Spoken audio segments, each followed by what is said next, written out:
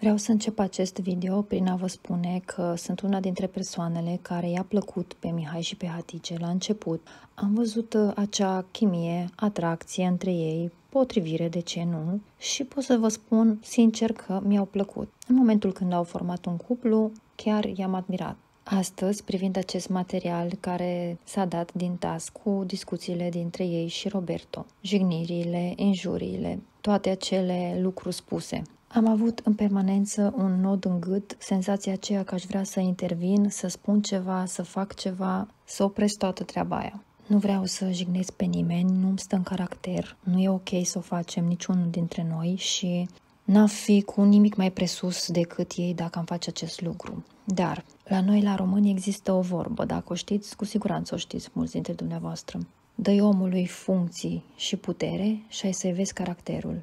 Mie personal, asta mi se pare că s-a întâmplat. Staful a pus-o undeva pe un piedestal, pe Hatige. De câteva săptămâni bune știți bine că au ocupat locul în un clasament atât ea cât și Mihai și treptat, treptat încearcă să-i arate caracterul. Vă repet încă o dată, este opinia mea și asta cred. Îmi pare foarte rău să vă spun, nu sunt de acord să răspundem jignirilor cu jigniri. Cei care o să spuneți că și ea la rândul ei a fost jignită și așa mai departe, nu, nu am, n-am să vă dau dreptate, n-am cum. Îmi pare foarte rău, dar uh, așa ceva ce s-a întâmplat în ultima perioadă și toate discuțiile din casă, jignirile și tot ce a fost, în special din partea lui Hatice, dar și Mihai le-a tolerat și le-a acceptat, sunt inadmisibile. Și punct. Cu toții sunt într-o competiție, toți se aflau închiși în aceeași încăpere, toți erau în aceeași situație, toți ar fi putut să provoace, toți ar fi putut să jignească și lista poate continua. Dar nu, fiecare își arată caracterul mai devreme sau mai târziu exact așa cum este.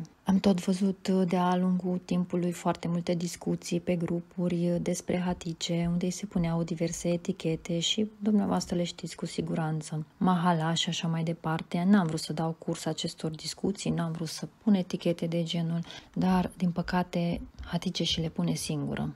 Îmi pare foarte rău pentru ce s-a întâmplat, nu-mi place deloc caracterul ei, comportamentul și atitudinea față de unii din casă pe care ea îi consideră mai slab și își permite să-i jignească, iar Mihai nu face decât să se ascundă după fusta ei în ultima perioadă, din păcate.